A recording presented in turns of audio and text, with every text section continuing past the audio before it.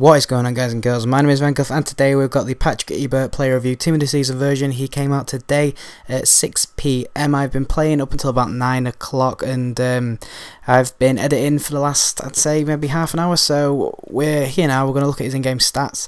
Uh, he's got fantastic crossing, by the way, guys. His crossing is 94 and his curve is 99, and you can really feel that in-game as well. Another standout stat is his free kick accuracy, so you guys who are good at free kicks, you are going to absolutely love him. I am terrible at free kicks, by the way, and I managed to get a couple on target. Usually, mine go out the stands. I'm so, so bad at them. I can't judge the shot power or anything, or the curve, or I'm just really, really bad at them. Uh, he's got medium medium work rates, which is I'm not gonna lie, it's a bit frustrating. He could play left mid, right mid, or centre mid, and I kind of you can kind of tell that he'd be quite good at a centre mid. He reminded me a little bit of Valbuena a little bit, um, we're looking at his physical stats now, guys, and his acceleration and sprint speed is actually a total lie. He feels like 90 pace. There's one in particular clip where I think it's in the attacking movements part of the video.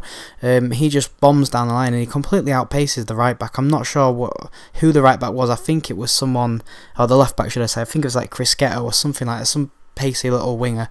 So you're going to see that in a minute. We're going to look at his shooting now, and he had a tendency to shoot with his left foot. He's right footed, but a lot of the times do you know when you get up to a shot and you think, right, he's going to hit this with his right foot, and all of a sudden he hits it with his left? It's so frustrating, but luckily this guy has got 4-star weak foot, so that means he can actually pull off some good shots with his left foot.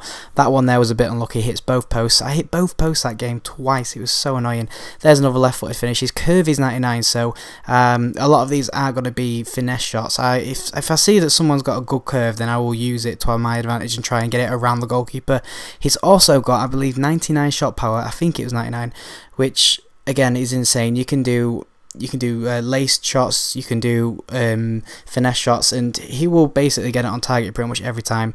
We're going to look at his passing now, guys, and I've included both the um, through balls and simple passes as well as the crossing. I've, I've put them all into one big fixture because at the end we're going to look at his corners because his corners, again, is another fantastic trait that he has.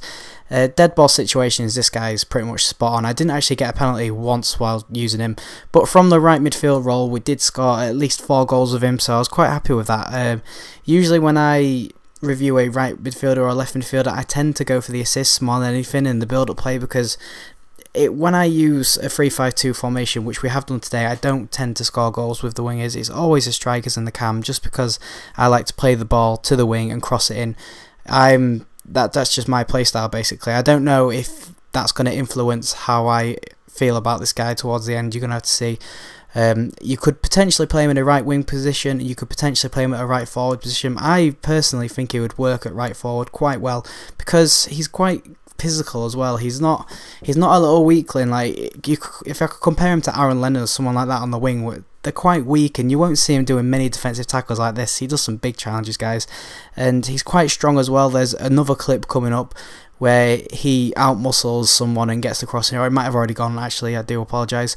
We're going to look at his corners now, and I scored four goals from the corners he took, and four goals that he set up in seven games from corners for me isn't too bad. I, I did quite enjoy that.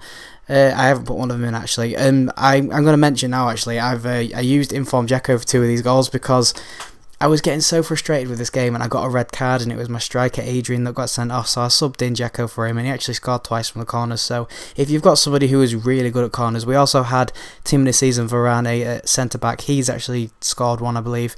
I'm not sure if I'm including it in these clips though. Uh, we want to look at his attacking movement now. And what I mean by his attacking movement and this is this is the thing that annoyed me. This is the only reason it annoyed me is because I had to do it. If he was attacking work rate was high, then he wouldn't have had. I wouldn't have had to do it in the first place. I've been doing LBA passes, and he does run up the pitch, and he does time his runs very well. It's just annoying the fact that he's far down the pitch. You have to physically press LB and A to tell him to get up the pitch. This is the clip I was on about, guys. He completely outpaces the left back, just leaves him for dead. There's nothing wrong with this guy. The only problem I could probably think of is medium attacking work rates, and that's me being picky. So, guys, I give him a 9 out of 10. Paid 30k for him. Definitely worth the coins. And if you have enjoyed this video, please leave a like, comment and subscribe. Thank you.